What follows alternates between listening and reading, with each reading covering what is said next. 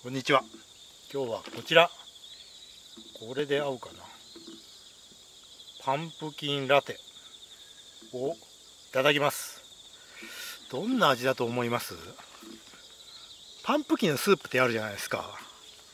あれ だからなんかね普通のパンプキンスープじゃないかっていう疑惑があるんですけどほっこり感じる。乳酸品。乳酸？乳飲料。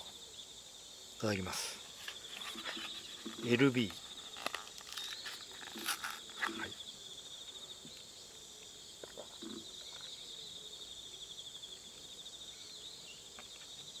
結構甘めで飲みやすいですね。甘い味の後にうん。パンプキンガンがかぼちゃの、まあ、スープ的なね感じで。甘いミルクの後味にパンプキンがやってくる感じですね。ちょっと甘すぎかも。もうちょっと、えー、かぼちゃとミルクのまろやかな甘さが特徴で飲むとほっこりした気分を感じられるパンプキンラテですっていう。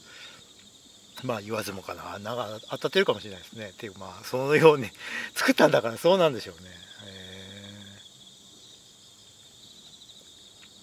ー、感じとしてはね、うん、結構甘い。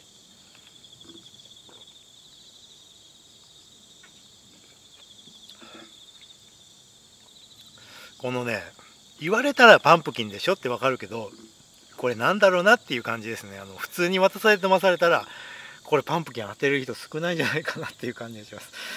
うん。まあリピートはないけどまあ普通に飲めるかなという感じですかね。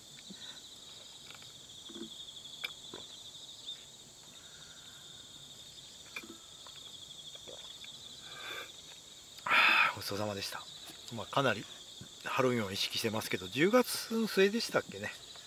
はい。これからもどんどんこういった のが出てきそうな感じですよね。